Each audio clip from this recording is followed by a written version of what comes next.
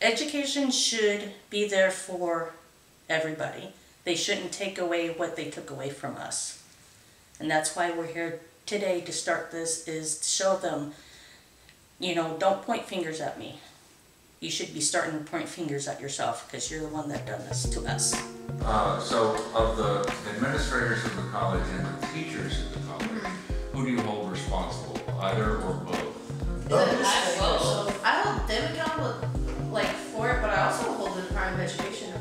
accountable, like, You've been they allow for this 20 to years. happen.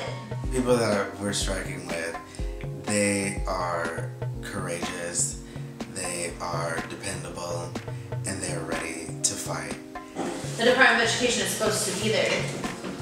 This is, what they're supposed to be doing, is regulating this kind of stuff. That's why we want to get this in the light so much because we're tired of this re like just repackage, repackage, repackage. If you put a new name on it, then you're fine. Even though we're so different, we have this one common thing that we can all be like, hey, that made me angry, and I'm gonna change it.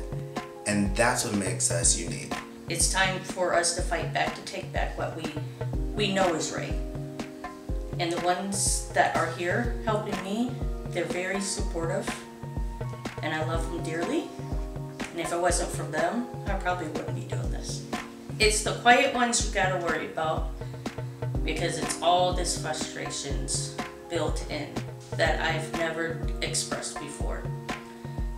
Now you just have to worry about me because I'm the quiet one. I'm coming after you, and I'm to take back what is mine that I know is mine.